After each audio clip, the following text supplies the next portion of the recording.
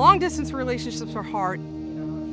International relationships are the worst because it's just, it's so much harder. We're, we're only like two hours away, like, but imagine being like a whole continent or a whole country away.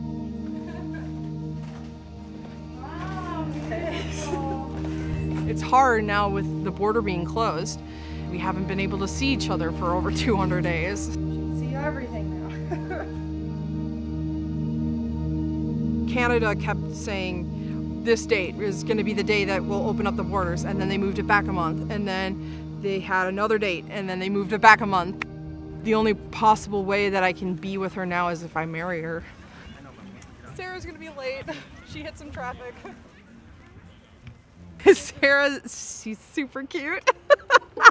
um, she's super cute. I love her. We're both huge anime nerds. You know, that's kind of how we started, just blogging the same stuff that we we liked. I just, I just, I felt really strongly that I, I needed to go see her.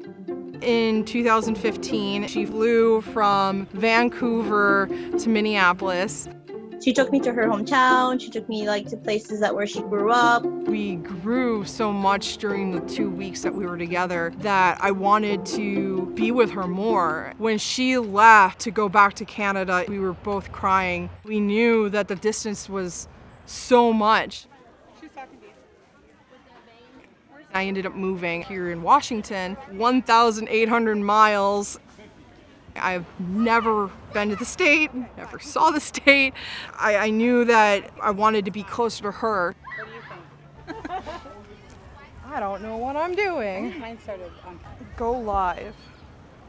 You're gonna go Start live, live video. Is she here? Uh, they're they are in the area. Sara's in the area. She just has to find parking and then walk. Can you guys see me and hear me? Am I pixelated? I just need to know. It was, sorry about the stream, it was interrupted because Sara called me about where she was. Great day to get married. August 3rd of last year, uh, 2019, uh, I proposed to her and she said yes. We were going to give it a couple years just because we needed to figure out like what we wanted to do like moving wise because it was either going to be me moving there or her moving here but then like the pandemic hit it's been really tough getting through this pandemic by myself and knowing that here in the US it's it's easier for me to get the virus. We both were getting more depressed and our mental health was taking a toll. To, to go through a pandemic like this and then be separated from your your significant other for months on on end is it's awful. It, I don't wish it on anybody our border here connects to the Peace Arch Park. There's no borders, there's no walls. There's a little bit of a ditch, and then there's a spot where you can cross over into the American side of the park. Like I knew in my heart, I was like, nothing else can go wrong. As soon as I saw her, I was like, you know what, we're good.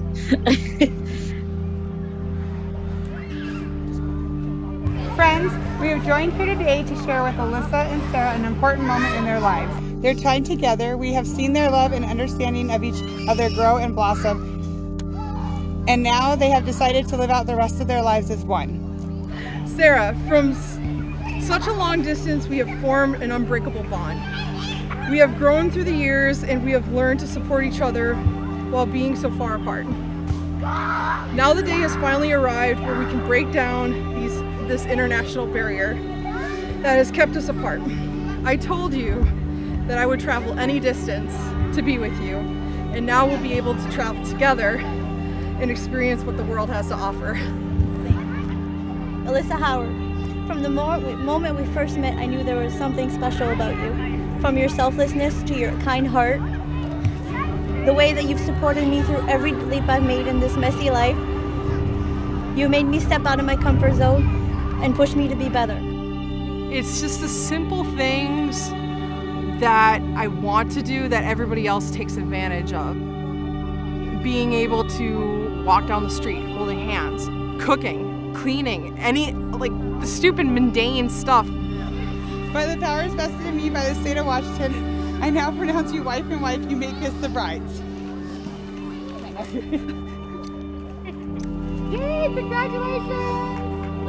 I'm planning to become a Canadian citizen with the help of a lawyer. It's gonna take a while, but we'll eventually get to be with each other